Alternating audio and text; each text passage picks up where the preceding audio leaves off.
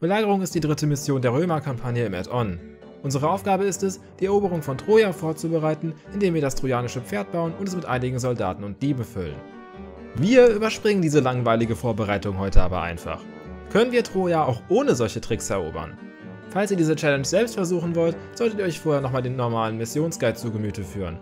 Ich hatte das nicht getan, was dazu führte, dass ich die Aufgabe unterschätzt habe und nicht mehr wusste, wo Eisen ist. Außerdem seid ihr dann über die anderen Eigenheiten der Karte informiert. Troja startet großzügig ausgebaut und noch großzügiger verteidigt. Stolze 75 große Türme verteidigen die Stadt sowohl an ihren Grenzen als auch im Inneren. Noch dazu kämpfen die Trojaner stets mit maximierter Kampfkraft. Wir sind also bei den meisten Konfrontationen im Nachteil. Ihre Verteidigung ist aber vor allem an den Wassergräben konzentriert. Wenn wir den Eingang knacken können, steht uns der wichtige Teil der Stadt weit offen. Auf dieser Karte ist sowohl Gold als auch Eisen zwar für die Zwecke der eigentlichen Mission ausreichend, aber für das, was wir vorhaben, ist es eigentlich viel zu wenig.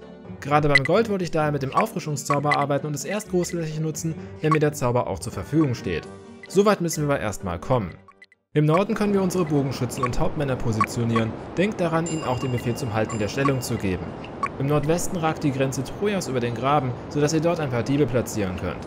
Bis ihr das Gebiet eurer Bogenschützen erobert habt, wird ihre Kampfkraft reduziert sein, also lasst die Hauptmänner die stärkeren Soldaten etwas tanken und lasst sie nicht zu lange aus den Augen.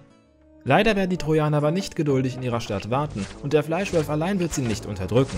Auf normal können sie nach 60 Minuten aktiv werden und das werden sie auch tun. Abgesehen von ihren Soldaten auf Steroiden werden sie auch aggressiven Gebrauch ihres Friedenszaubers machen, was aber dem Blitzzauber vorzuziehen ist. Deshalb empfehle ich euch, Gold, Mana und höherwertige Soldaten zunächst links liegen zu lassen.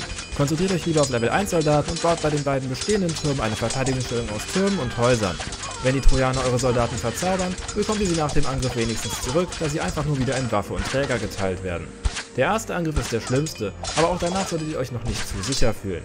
Später verlieren die Trojaner durchaus etwas Energie, aber bis dahin seid ihr in der Defensive.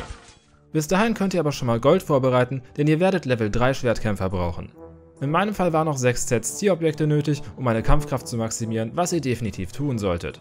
Ihr könnt theoretisch auch versuchen, mit Katapulten zu arbeiten, was zumindest den Vorteil hätte, dass zerstörte Türme die KI nicht triggern sollten.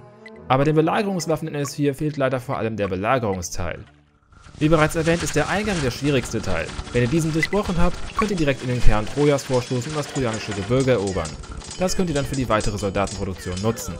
Ab hier kann auch von Schwierigkeit nicht mehr die Rede sein, da ihr einfach nur so lange Soldaten in die übrige Verteidigung werft, bis sie euch gehört. Und da diese Spielweise nie vorgesehen war, ist damit natürlich auch nicht die Siegbedingung erfüllt. Aber ich denke, man kann das schon als Sieg betrachten. Wenn man nicht derjenige ist, der 1400 Todesnachrichten an die Familien der gefallenen Soldaten überbringen muss. Know your fucking place, trash!